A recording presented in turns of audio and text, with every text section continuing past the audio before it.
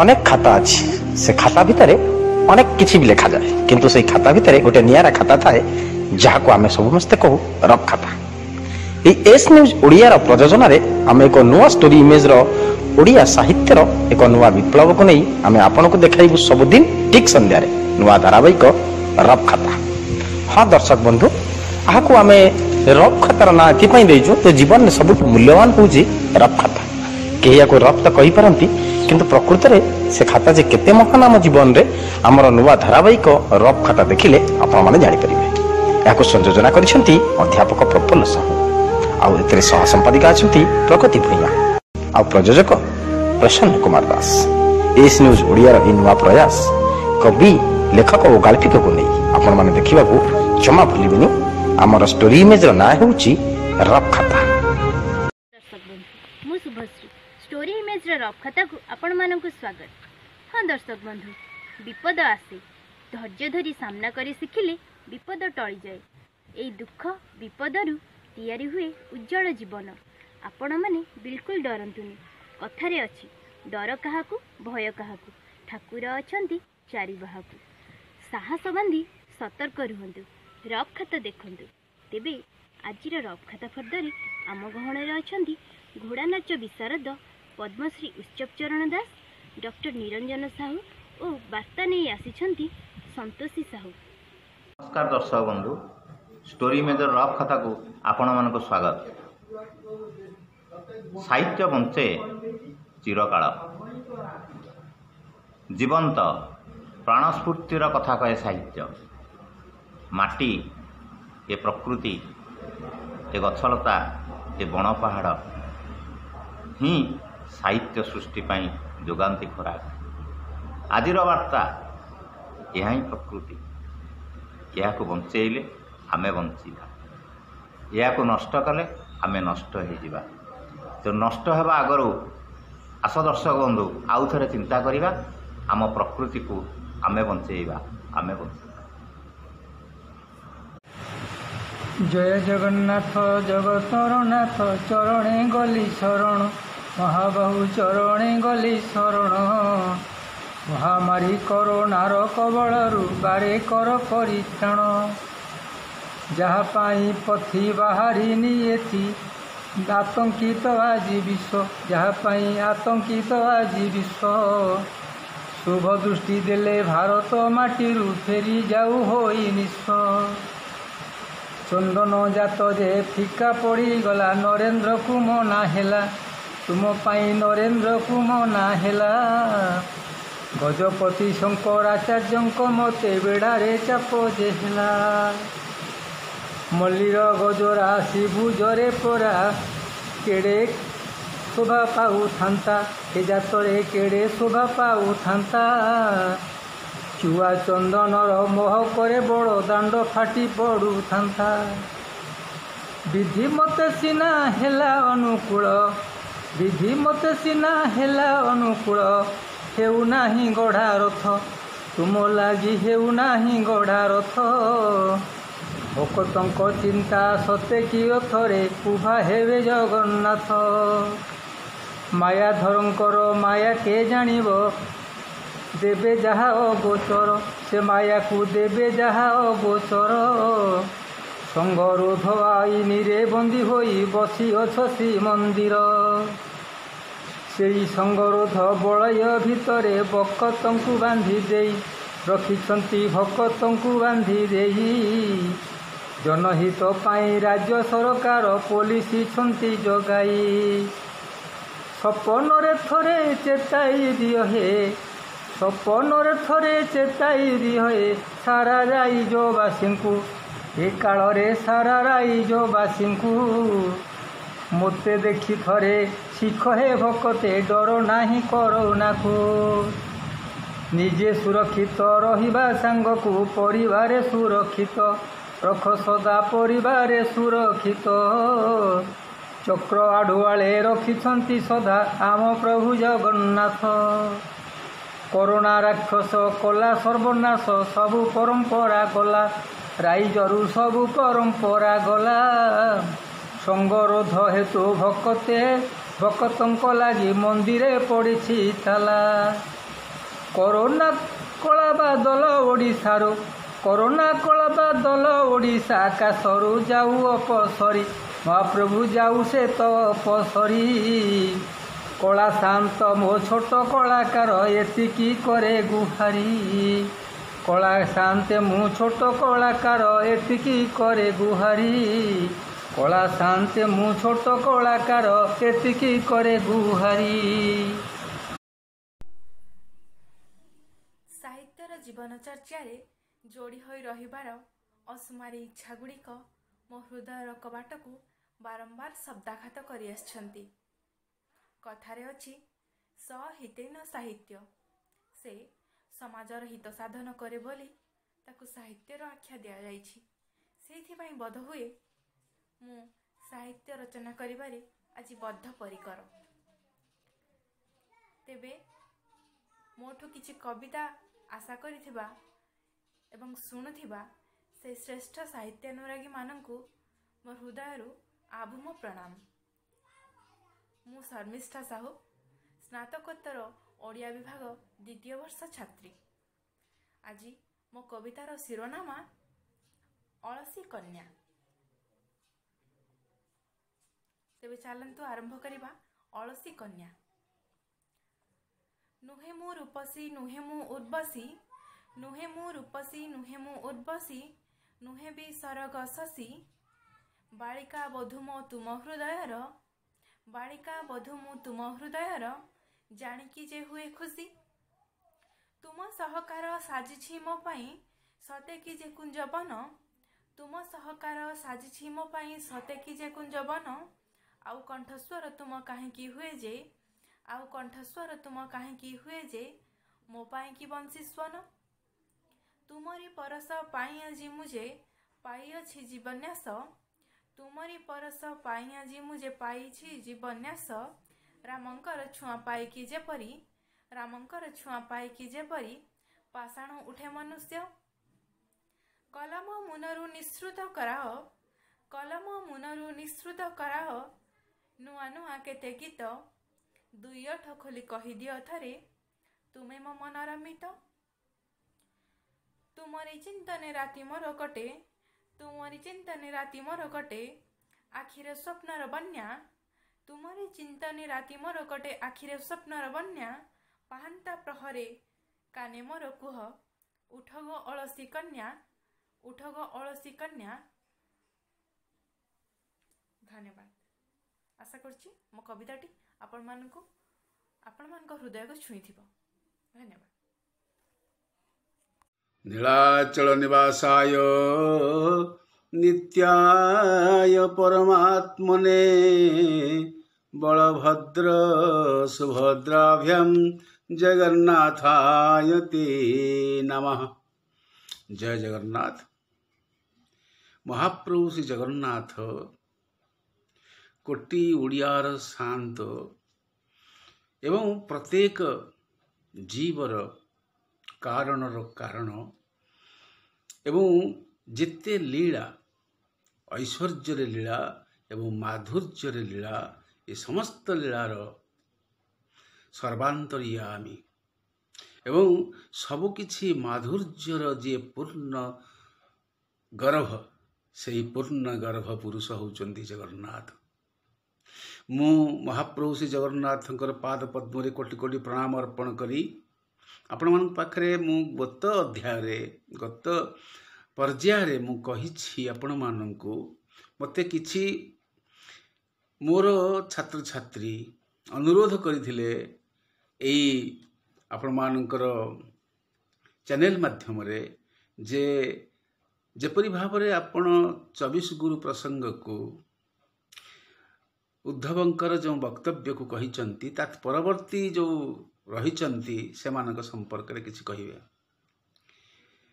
ଆମେ ଭାଗବତର ଏକାଦଶ ସ୍କନ୍ଧରେ ଜଗନ୍ନାଥ ଦାସ ଯାହା ବର୍ଣ୍ଣନା କରିଛନ୍ତି ଏଇ ଯେଉଁ ସନ୍ଥ ପର୍ଯ୍ୟାୟରେ ଚବିଶ ଗୁରୁ ପ୍ରସଙ୍ଗ ସେଥିରେ ମୁଁ ପୂର୍ବରୁ ଆପଣମାନଙ୍କୁ କହିଛି ଉଦ୍ଧବ ଯଦୁରାଜାଙ୍କୁ କହୁଛନ୍ତି।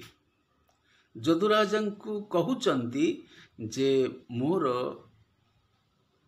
ମୁଁ ଜଗତରେ ଯୁଆଡ଼େ ଯୁଆଡ଼େ ଯାଇଛି କାରଣ ଉଦ୍ଧବ କହିଛନ୍ତି ଦେଖ ଏ ମୋହର ଶରୀର ସାକ୍ଷାତ ମୁକତିର ଦ୍ୱାର। ଅର୍ଥାତ୍ ତାଙ୍କ ଶରୀରରେ ଆଉ କିଛି ନଥିଲା ବସ୍ତ୍ର। କେବଳ ଗୋଟିଏ କୌପିନ କେବଳ ଥିଲା। ଗୋଟିଏ କୌପିନ କେବଳ ସେ ବ୍ୟବହାର କରୁଥିଲେ। ଆଉ କିଛି ତାଙ୍କ ଦେହରେ ନଥିଲା। ଉଦ୍ଧବ ସେଥିପାଇଁ କହିଲେ ଆଶା ପାଶ ବିନିର୍ମୁକ୍ତ ଶରୀର।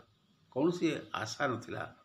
ଆଉ ଗୋଟେ ବିନିର୍ମୁକ୍ତ ଜୀବନ ଥିଲା ଉଦ୍ଧବଙ୍କର। ସେ ଉଦ୍ଧବ କହିଲେ ମୋର ଗୁରୁ ହେଉଛନ୍ତି ପ୍ରଥମେ ପୃଥିବୀ। ମୁଁ କହିଛି ଗତ ଗତ ଅଧ୍ୟାୟରେ କହିଛି ସମୁଦ୍ରେ ବସନେ ଦେବୀ ପର୍ବତ ସ୍ତନ ମଣ୍ଡଳୀ ବିଷ୍ଣୁ ପତ୍ନୀ ନମସ୍ତୁଭ୍ୟಂ ପଦସ୍ପର୍ଶ କ୍ଷମା। ସେଇଥିପାଇଁ ଆମେ ପ୍ରାତରୁ ଉଠିଲା ମାନେ ଉଠିବା ପର ମୁହୂର୍ତ୍ତରେ ମା ଧରିତ୍ରୀଙ୍କୁ ମା ବସୁନ୍ଧରୀଙ୍କୁ ପ୍ରଥମେ ପ୍ରଣାମ କରୁ। ଯେ ମୁଁ ପାଦ ପକାଉଛି ଆପଣଙ୍କ ଉପରେ ପ୍ରଥମରେ ମୁଁ ଶଯ୍ୟା ତ୍ୟାଗ କଲା ପରେ ମା ବସୁନ୍ଧରୀ ମୋତେ ପାଦ ରଖିବା ପାଇଁ ଅନୁମତି ଦିଅନ୍ତୁ। ଏ ହେଉଛି ପୃଥିବୀ ପାଖରୁ ଶିଖିବା ପାଇଁ ତାଙ୍କର ଉଦ୍ଧବଙ୍କର ପ୍ରଥମ ପର୍ଯ୍ୟାୟର କଥା ଥିଲା ଯେ ସେ କ'ଣ ଶିଖିଲେ ନା ଅବିଚଳିତ ରହିବା ଶିଖିଲେ। ପୃଥିବୀ ଶିକ୍ଷା ଦେଉଛି ଯେ ସର୍ବଂ ସର୍ବଂ ସହା ଧରିତ୍ରୀ ଅବିଚଳିତ ତାଙ୍କ ଉପରେ ପାଦ ପକାଇଲେ ତାଙ୍କ ଉପରେ ତାଙ୍କୁ ଖୋଳିଲେ ଚାଳିଲେ ଯାହା କଲେ ମଧ୍ୟ ଯେତେ ଅସ୍ଥିର କଲେ ମଧ୍ୟ ମା ପୃଥିବୀ ବସୁନ୍ଧରୀ ଯେଭଳି ଭାବରେ ସ୍ଥିର ଅବିଚଳିତ। ତେଣୁ ମଣିଷ ଯେଡ଼େ ବିରାଟ କରୋନା ପରି ମହାମାରୀ ଆସିଲେ ମଧ୍ୟ ସ୍ଥିର ଏବଂ ଅବିଚଳିତ ରହିବା ଦରକାର ବୋଲି ଆମେ ଶିକ୍ଷା ଗ୍ରହଣ କରୁଛେ ଉଦ୍ଧବଙ୍କ ପାଖରୁ ଭାଗବତରୁ ଏକାଦଶ ସ୍କନ୍ଦରୁ। ଏଠି ଗୋଟିଏ ପ୍ରସଙ୍ଗରେ କହିବା ମୁଁ ଗୋଟିଏ କଥା କହିବାକୁ ଚାହେଁ ଯେ ମଣିଷ ଜନ୍ମ ନେଇଛି ମରିବ ନିଶ୍ଚୟ। ଆଜ୍ଞା? ମଣିଷ ଜନ୍ମ ହେବା ସତ୍ୟ? ହଁ। ମଣିଷ ମରିବା ମଧ୍ୟ ସତ୍ୟ? ନା ହଁ? ଯଦି ଜନ୍ମ ହେବା ସତ୍ୟ ମରିବା ହେବ ସତ୍ୟ ମରିବାଟା ସତ୍ୟ ତାହେଲେ ଏତେ ବ୍ୟାକୁଳ କାହିଁକି? ଏତେ ଭୟାକୁଳ କାହିଁକି? ତେଣୁକରି ଭୟଭୀତ ହେବାର ନାହିଁ। ଆମେ ହୃଦଘାତରେ ମୃତ୍ୟୁବରଣ କରୁ କି ଅଂଶୁଘାତରେ ମୃତ୍ୟୁବରଣ କରୁ କି ମହାମାରୀରେ ମୃତ୍ୟୁବରଣ କରୁ ଯେଉଁଥିରେ ମୃତ୍ୟୁବରଣ କରୁ ତାହା ବିଧି ନିର୍ଦ୍ଦିଷ୍ଟ। ଏବଂ ତାହା ଲେଖା ଅଛି ଯେ ଏଇଭଳି ଗୋଟିଏ ଦୁରାରୋଗ୍ୟ ବ୍ୟାଧିରେ ଏଇଭଳି ଗୋଟେ ବାର୍ଦ୍ଧକ୍ୟ ରୋଗରେ ହେଉ ବାର୍ଦ୍ଧକ୍ୟ ବ୍ୟାଧିରେ ହେଉ କିମ୍ବା ଦୁରାରୋଗ ବ୍ୟାଧିରେ ହେଉ ମଣିଷର ମୃତ୍ୟୁ ଘଟିବ। ଆପଣ ଜାଣନ୍ତି ନା ରାମକୃଷ୍ଣ ପରମହଂସଙ୍କୁ? ସ୍ୱାମୀ ବିବେକାନନ୍ଦଙ୍କ ପରି ଛାତ୍ର ତିଆରି କରି ସେ ଶିଷ୍ୟ ତିଆରି କରି ସେ ସେ ଧନ୍ୟ ମନେ କରିଥିଲେ ଭଗବାନ ରାମକୃଷ୍ଣ ପରମହଂସ। ତାଙ୍କର ମଧ୍ୟ ସେଇଭଳି ରୋଗ ତାଙ୍କୁ ମଧ୍ୟ ଗ୍ରାସ କରିଥିଲା। ଭଗବାନ କୃଷ୍ଣଙ୍କୁ ସେଦିନ ଜରାସବର ବ୍ୟାଧ ସର ନିକ୍ଷେପ କରିଥିଲା। ତାଙ୍କର କଅଁଳ କୋମଳ ପାଦରେ ତାହା ବିଦ୍ଧ ହୋଇଥିଲା ମୃତ୍ୟୁବରଣ କରିଥିଲେ। ନର ଦେହରେ ନାରାୟଣ ମଧ୍ୟ ପୃଥିବୀ ପୃଷ୍ଠକୁ ଆସି ମୃତ୍ୟୁବରଣ କରିছে ଆମକୁ ଭୟ କାହିଁକି? ଏଇଟା କ'ଣ ଆମର? ଆମେ କ'ଣ ନିଜେ ନିଜେ ପଳେଇ ଆସିଛୁ? ଆମେ ଏଠିକି ଆସିବା ପାଇଁ ଜଣେ କିଏ ପ୍ରେରିତ କରିଛି ଆମକୁ। ସୁତରାଂ ଯିଏ ପ୍ରେରଣା ଦେଇଛି ସିଏ ବୁଝିବ। ଏଥିପାଇଁ ବ୍ୟାକୁଳ ହେବାର ନାହିଁ ବନ୍ଧୁଗଣ। ସଜ୍ଜନ ମଣ୍ଡଳୀ ମା ବାପା ଭାଇମାନେ ପିଲାମାନେ ଆପଣ ଜମା ଭୟ କରନ୍ତୁ ନାହିଁ।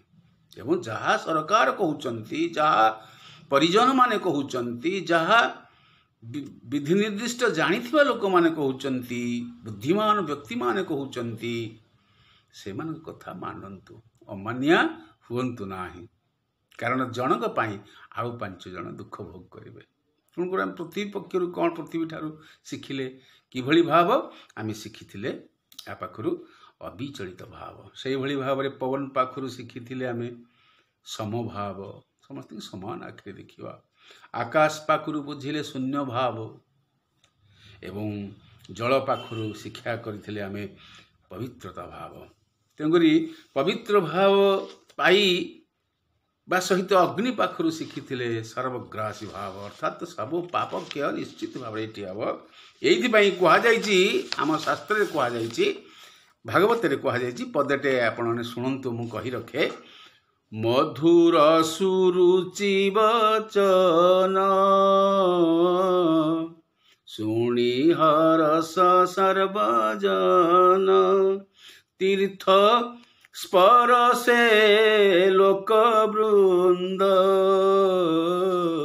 যে সনে লভন্তি আনন্দ।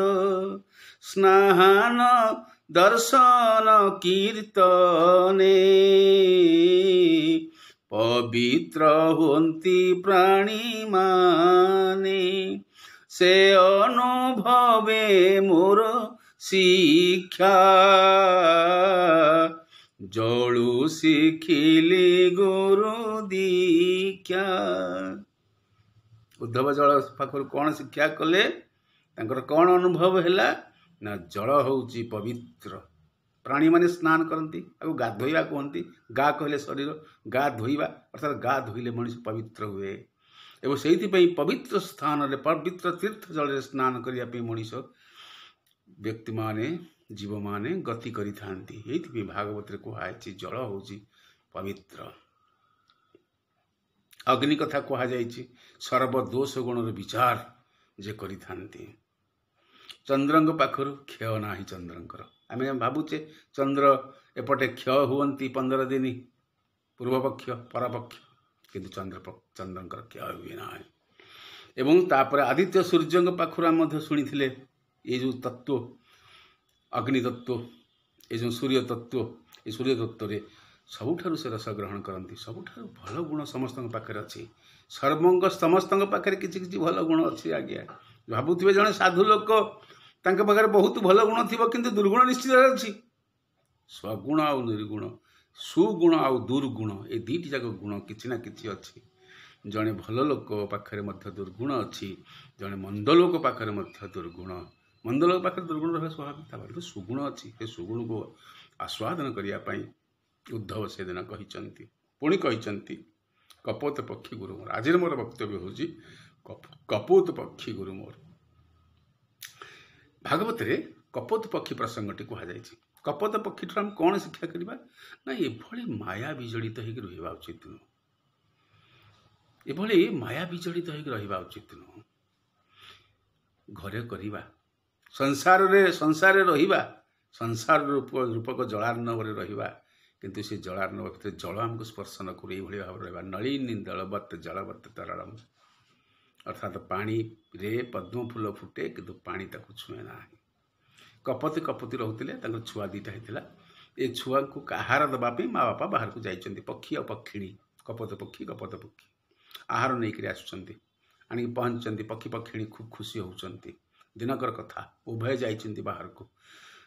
ବ୍ୟାଧ ଆସିଛି ଦୁଇଟାକ ଛୁଆକୁ ତାର ଜାଲରେ ଧରି ନେଇଛି। ଏ କଥା ଦେଖିକିରି ପକ୍ଷିଣୀ ଯେତେବେଳେ ପହଞ୍ଚିଛି ତା ଛୁଆ ପାଇଁ ଏତେ ବ୍ୟାକୁଳ ସେ ଥିଲା ଯେ ସେଥିରେ ସେ ନିଜେ ନିଜେ ପଡ଼ିଗଲା। କହିଲା ମୋର ଜୀବନରେ ଆଉ କ'ଣ ଅଛି? ମୋର ଛୁଆ ନାହିଁ ତ ମୋ ଛୁଆ ତ ନାହିଁ ମୋର ସଂସାର କିଛି ନାହିଁ। କ'ଣ ହେବ ଯେ ସଂସାର? ଠିକ୍ ସେଇଭଳି ଭାବରେ ସେ ନିଜେ ଯେତେବେଳେ ବଧା ବର୍ଦ୍ଧିତ ହେଲା ସେଇଭଳି ଭାବରେ ତା ବାପ ଅର୍ଥାତ୍ ପକ୍ଷୀ ଆସିଲା ପରେ ଦେଖିଲା ଯେ ମୋର ଛୁଆମାନେ ଯାଇଛନ୍ତି ବ୍ୟାଧ ଭାବରେ ଏବଂ ମୋର ଯିଏ ପ୍ରିୟ ପତ୍ନୀ ଯାହା ପାଇଁ ମୋ ଜୀବନ ମୋର ପତ୍ନୀ ଛାଡ଼ିଲେ। ବିଷୟା ରସରେ ମଜିଲି ସାଧୁ ସଙ୍ଗତ ତେଜି ତରୁଣୀ ତନୟା ତନକୁ ଦିବାର ଜନି ହେଜି। ଆମେ ବିଷୟ ରସରେ ମଜିକି ଅଛୁ। ବିଷୟ ରସରେ ସବୁବେଳେ ସବୁ ସମୟରେ ମଜିକି ନିମଜ୍ଜିତ ହେଇକି ରହିବାର ନାହିଁ। ବିଷୟ ବାସନା। ବିଷୟ ଆମ ପାଖରେ ଅଛି। ଘର ହଉ ଦ୍ୱାର ହଉ ସ୍ତ୍ରୀ ହଉ ଅଛନ୍ତି। ବାସନା। ମଣିଷର human wants are unlimited wants କେବେ ପରିପୂର୍ଣ୍ଣ କେହି କରିପାରି ନାହାନ୍ତି ଭଗବାନ ବି କରିପାରିବେ ନାହିଁ। ସେଇଥିପାଇଁ କୁହାଯାଇଛି ବିଷ ବାସନା ଠାରୁ ଦୂରରେ ରହିବେ। କାମିନୀ କାଞ୍ଚନ ପାଖରୁ ଦୂରେଇକି ରହିବା ପାଇଁ ଭାଗବତ ଦୀକ୍ଷା ଦେଇଛି। ଏଇଥିପାଇଁ କୁହାଯାଇଛି ଆମ ପାଖରେ ଯେ ସେଇଭଳି ପକ୍ଷୀ ପକ୍ଷିଣୀ ପକ୍ଷୀ ଶାବକ ସମସ୍ତଙ୍କୁ ବଡ଼ ଆନନ୍ଦରେ ସେଦିନ ବ୍ୟାଧ ନେଇକି ଯାଉଛି। କ'ଣ ଶିକ୍ଷା କରିଛନ୍ତି ଉଦ୍ଧବ? ଏଭଳି ମୋହ ମାୟା ଭିତରେ ପଢ଼ିବା ଉଚିତ ନୁହେଁ। ମୋହ ମାୟା ଦୁଃଖ ଦିଏ। ଯେଭଳି କପୋତ ଆଉ କପୋତି ଦୁଃଖ ପାଇଛନ୍ତି। ଅର୍ଥାତ୍ କପୋତ କପୋତି କପୋତ ଆଉ କପୋତି ଆମକୁ ଶିକ୍ଷା ଦେଉଛନ୍ତି ଏଭଳି ମୋହମାୟା ଜଞ୍ଜାଳ ଯୁକ୍ତ ହେବା ଉଚିତ ନୁହେଁ। ଏବଂ ତତ୍ପରେ ଆମେ ଆସିବା ଅଜଗର ପାଖକୁ। ଅଜଗର ପାଖରେ ଦୁଃଖ ସୁଖ ସହିବାର ଗୁଣ ଅଛି। ଅଜଗର ପାଖରେ କୁହାହେଇଛି ଅଜଗର ସମ୍ପର୍କରେ କୁହାହେଇଛି ଇଏ ହେଉଛନ୍ତି ନବମତମ ଗୁରୁ କାହାଙ୍କର? ଉଦ୍ଧବଙ୍କର। ଏବଂ ସେଇଭଳି କୁହାଯାଇଛି ସମୁଦ୍ର ମଧ୍ୟ ମୋର ଗୁରୁ। ସମୁଦ୍ର ପାଖରୁ କ'ଣ ଶିକ୍ଷା ହେଇଛି? ଗଭୀର। ଆଜ୍ଞା ଗଭୀର ହୁଅନ୍ତୁ। ଗମ୍ଭୀର ହୁଅନ୍ତୁ ସମୁଦ୍ର ପରି।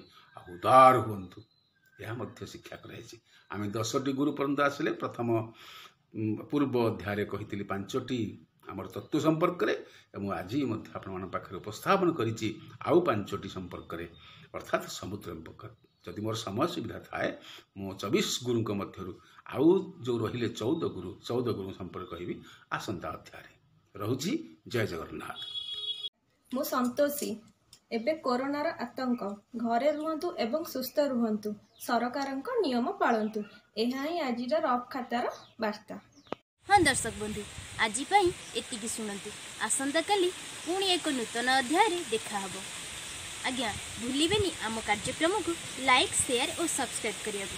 ରହିବି ନମସ୍କାର। ତେବେ ଆପଣଙ୍କ ମୋବାଇଲରେ କବିତା ହେଉ କି ଗଳ୍ପ ନିଜେ ପଢ଼ି ଆମ ହ୍ୱାଟ୍ସଆପ୍ ନମ୍ବରକୁ ପଠାନ୍ତୁ।